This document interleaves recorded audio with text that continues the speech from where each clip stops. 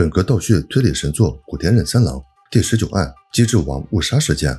大杰最近混得风生水起，靠着电视台一档答题节目，深受广大观众的喜爱。目前已经连续获胜七周。可众人不知道的是，他获胜并不光彩，而是靠着电视台的内幕消息。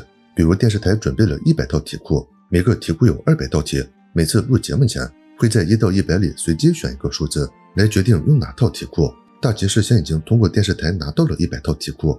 每次节目开始前，他都会得到相应的题库数字，然后让场外的智囊团在全套题库中找出对应的答案，报给他背下来，所以他才一直能赢。这不，他又来录制第八周比赛，在粉丝的簇拥下进入电视台。这种生活让他逐渐飘了起来，边化妆边向工作人员抱怨：上周他的镜头太少，观众喜欢他就该多给他镜头。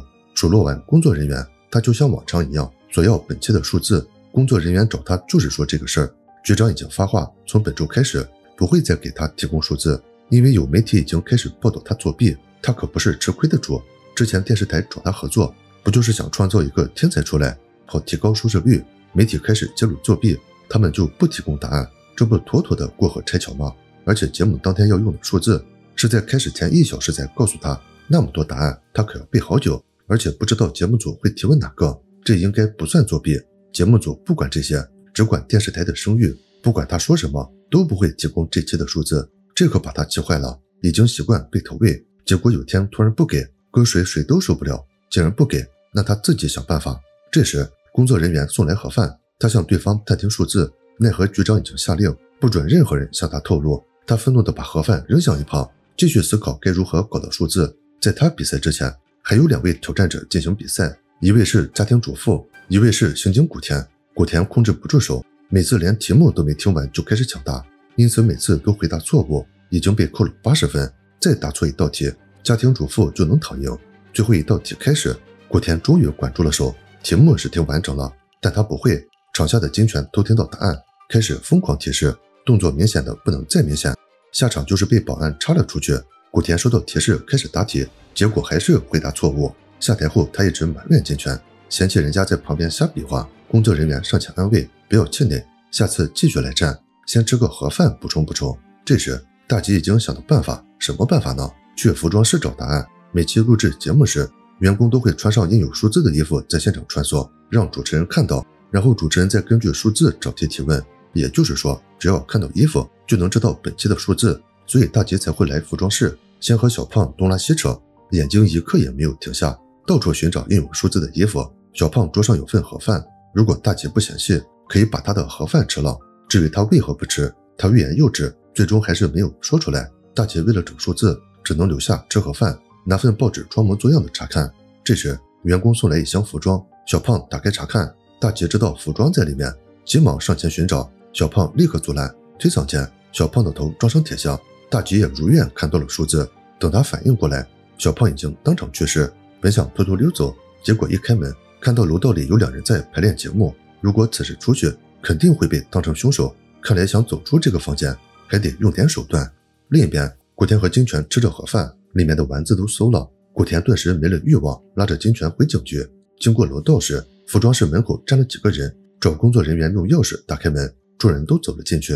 不一会儿，里面传来一声尖叫。走到门口的古田返回查看，小胖躺在地上，已经失去呼吸，地上还扔了很多臭鱼干。味道简直酸爽至极，周围的人用手捂住口鼻。金泉开始清场，让大家都出去，接着喊来警方进行处理。除了女员工来送服装外，之后再无人进出。房间里没有窗户。金泉有两种看法：要么是小胖自己摔倒，要么是密室杀人。古田更倾向于后者，因为有太多不对劲的地方。如果小胖是摔倒的，鱼竿为何会散落一地？要说小胖抱着鱼竿摔倒，倒也不是不可能，但总觉得哪里不对。还有一点。小胖同时点了三家餐厅的外卖，如果是他一个人吃，未免也太多了。这时有剧组来拿服装，发现这次的服装整理得非常整齐，而且已经按照顺序排好。小胖以前从没这样整理过，而且服装上有这期比赛的数字，如果是谋杀的话，参赛者比较有嫌疑，需要调查一下参赛者。就在古田思考案件时，大吉已经回到房间，给场外的智囊团打电话，告知本期的数字。智囊团立刻开始行动，查到答案后给他回电。古田找上他时，他正在打电话。等挂断电话后，古田开始试探，发现他听到小胖死亡的消息，一点也不惊讶。好像早就知道。对此，他的解释是和小胖不熟。案发时他在休息室背题，还吃了一个盒饭。接到盒饭，古田就一肚子火，里面的丸子都馊了。他也随口附和，确实馊了，一口没吃。听到这里，古田基本确定他就是凶手。等他换完衣服准备上台前，古田又来找他。他不耐烦地放下报纸，拒绝接受古田的问话。既然他不愿意说，古田也不强求，默默地坐在他身边，这让他更加不舒服，却又无法反驳。人坐在一起，避免不了说话。他实在憋不住，开始讲起过去。没参加这个节目前，和朋友开了个补习班。结果倒闭，后来做什么都不如意。他抱着玩游戏的心态来参加节目，没想到一炮而红。说起游戏，他想到一个摆脱古田的方法，和其玩一局游戏。如果古田赢了，他就空出五分钟时间接受问话；如果输了，就不要再纠缠他。古田毫不犹豫地答应。游戏规则是和他做同样的事儿，做不到就算输。刚开始一切顺利，最后他喝了一口水吐出来，可把古田惊呆了。虽然古田输了，但并不打算放过他。又起身追了上去，只问他一个问题，问完就走，再也不纠缠他。为了摆脱古田，他只能停下脚步。之前他说盒饭里有馊的丸子，但据古田所知，他的盒饭一直是特供的，和普通员工的完全不同。查了下他的盒饭菜谱，没有丸子这道菜。那他是在哪吃到的馊丸子呢？他大方承认，确实没吃到。之所以那样说，是为了迎合古田，让其尽快离开。古田内心非常强大，没有丝毫不开心，而是继续往下说。有个地方非常奇怪，小胖一次点了三家外卖，这有什么好奇怪的？从小胖的体型就可以看出，胃口应该很大。那为何不在一家店下单呢？是想对比味道呗？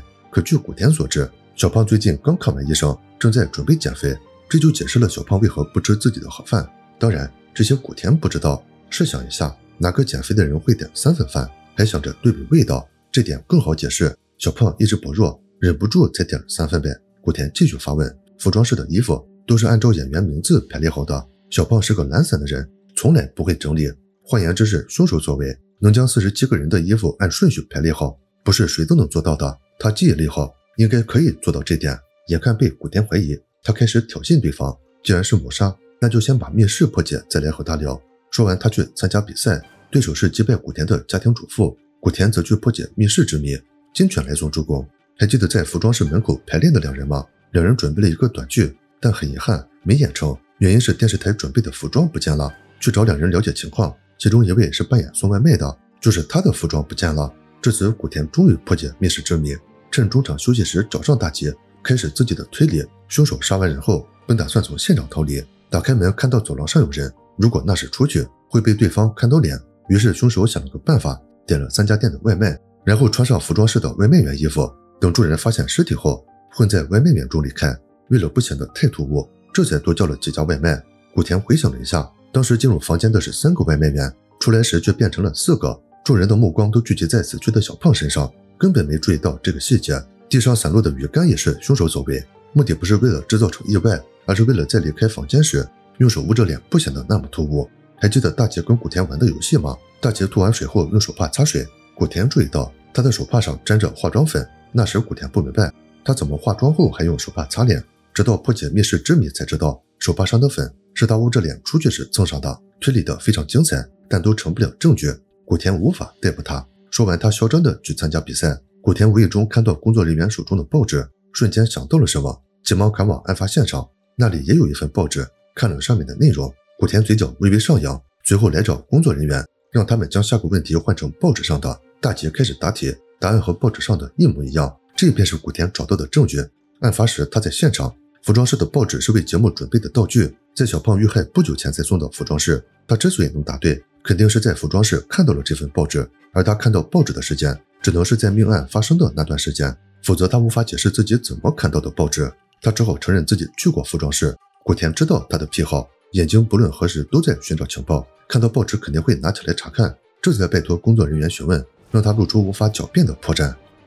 古田任三郎第十九案到这就结束了，感谢大家的观看，记得点赞支持一下。我是登登，我们下期见。